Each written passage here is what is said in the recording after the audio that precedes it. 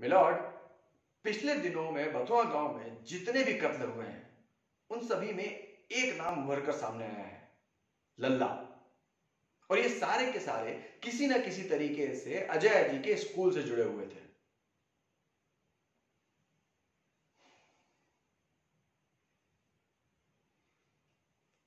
कोशिश अच्छी थी।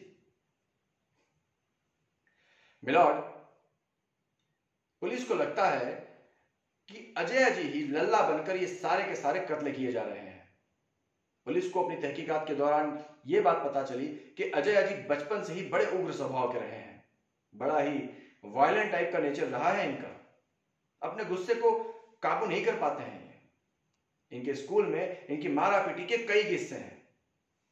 ये देखिए। ये है इनके स्कूल टीचर्स के टेस्टिमनी और साथ ही इनके साइकाट्रिस्ट का स्टेटमेंट भी है। पिछले कई दिनों से अजय जी अपने गुस्से को काबू में रखने के लिए अपना इलाज करवा रहे थे। लेना देना है वकील साहब, बिल्कुल है। मिलॉर्ड सड़क के रास्ते से जाने पर अजय जी के घर और घटना स्थल के बीच की दूरी लगभग तीन किलोमीटर आती है। लेकिन अजय जी के घर और घटना स्थल के बीच में जो नदी बहती है, उसके रास्ते से जाने पर यही दूरी एक किलोमीटर के लगभग आती है।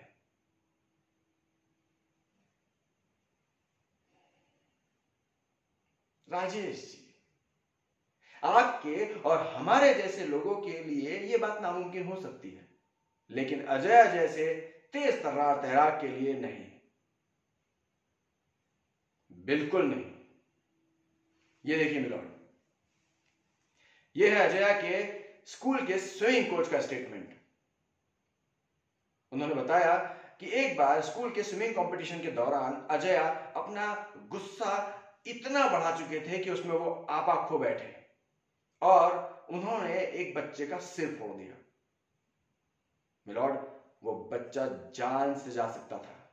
मरते मरते बचा वो। इतना ही नहीं, उनके स्विमिंग कोच ने यह भी बताया कि अजय इतने ज़बरदस्त स्विमर हैं कि अगर वो हादसा नहीं हुआ होता तो शायद आज अजय ओलंपिक लेवल के स्विमर होते हैं।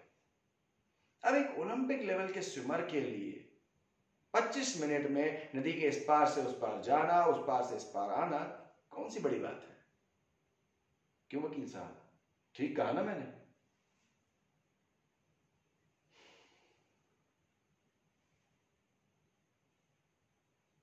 मिलॉर्ड पुलिस को अपनी तहकीकात में एक और अहम बात पता चली है। अजय जी का असली नाम अजय कुमार नहीं, बल्कि अजया प्रताप सिंह है। जी हाँ, जाने माने बैरिस्टर श्री रघुवेंद्र प्रताप सिंह के सुपुत्र हैं अजय जी। करोड़ों की संपत्ति के मालिक है लेकिन फिर भी बथुआ जैसे एक छोटे से गाँव में एक गुमनाम ज़िंदगी जी रहे हैं। क्यों? आखिर क्यों?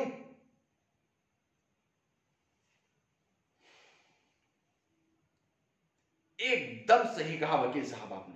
बिल्कुल सोलह आने सही लेकिन अगर कत्ल की जगह पर अजय जी की डायरेक्ट या इनडायरेक्ट किसी भी तरह की मौजूदगी के सबूत हो तो पुलिस उन्हें गिरफ़्तार तो कर ही सकती है। क्यों? ठीक कहा ना मैंने। मिलॉर्ड पुलिस को पूरा शक है कि इन सभी मर्डर्स के पीछे किसी ना किसी तरीके से अजय जी का ही हाथ है। और इसीलिए सेक्शन एक सौ इक्यावन के तहत मुकदमा दर्ज करते हुए पुलिस अजय जी की पुलिस कस्टडी की रिक्वेस्ट करती है। बस मिलॉर्ड उसी को इकट्ठा करने के लिए ही पुलिस मुलजिम अजय जी की सात दिनों की पुलिस कस्टडी की मांग करती है। That's all milord